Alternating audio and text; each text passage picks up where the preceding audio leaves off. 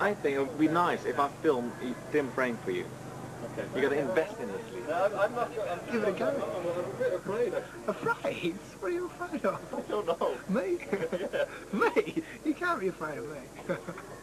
All is it? It's just the power of the Holy Spirit. When they asked me if I'd receive a blessing, I accepted, principally to maintain the feeling of goodwill.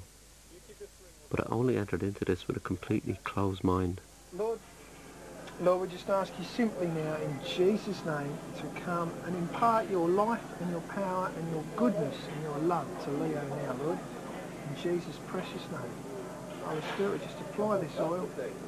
Holy Spirit, I'm asking you now to move upon Leo's heart, upon his mind, Lord God. Impart your... As much as I was trying not to feel anything, I was shocked to have a very strong sense of some kind of energy passing through me. Right now. Oh yeah, just feeling him receive now in Jesus' name. Receive that power, Leah. Receive that gift of love.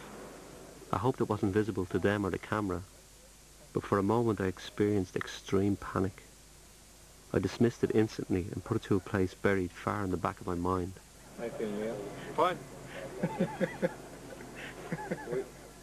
However, two days later, I felt an urge to dance around the subject with Steve.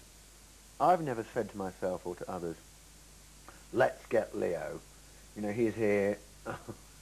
you know, let, let God get him and he's going to join our church. I would never presume to say such things. I don't, you know, that's, I can't even think down those paths.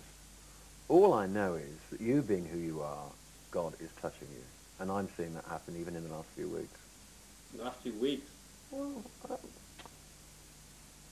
I think it is growing. Hmm. And I don't know, that's right or wrong, but Right. But you know, um, doesn't have to go the whole way, right? well, it, it does. I mean, the thing is, this is, it would be immensely tragic if you never came to a real faith in Christ. No, it wouldn't. It would. It would not. It would. It would not. I, the thing is, my Christian faith tells me that we all need to be saved. I can't, I can't play around. with it. I can't compromise that.